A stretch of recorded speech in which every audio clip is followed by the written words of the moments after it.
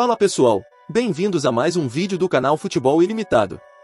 Na última rodada do Brasileirão, testemunhamos o Santos ser decretado rebaixado após uma derrota para o Fortaleza. Agora, surge a pergunta: quais times ainda não enfrentaram o rebaixamento? Se pensarmos há 10 anos atrás, essa lista exclusiva incluía Internacional, Cruzeiro, Santos, São Paulo e Flamengo.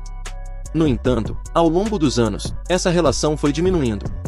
O primeiro a deixar a lista foi o Internacional, rebaixado em 2016, na 17ª colocação com 43 pontos. No entanto, o retorno foi rápido, já que em 2018 a equipe já estava na Série A, assegurando a terceira posição do campeonato. Diferentemente do Internacional, o Cruzeiro teve um destino menos favorável. Rebaixado em 2019, ocupando a 17ª posição com 36 pontos, o time celeste permaneceu por três anos na Série B, retornando apenas em 2023, quando lutou para evitar um novo rebaixamento. O último a figurar nessa lista foi o Santos, terminando o campeonato de 2023 na 17ª colocação com 43 pontos, um atrás do Bahia, e agora se prepara para enfrentar a segundona. Assim, os únicos clubes que nunca experimentaram o rebaixamento são São Paulo e Flamengo. No entanto, a ausência de queda não significa ausência de desafios.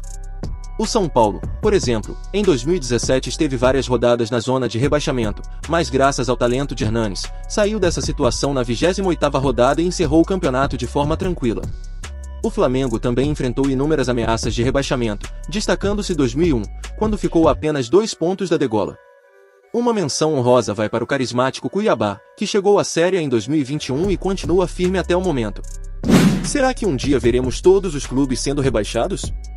Deixe sua opinião nos comentários. Se você gostou do vídeo, deixe seu like e inscreva-se no canal.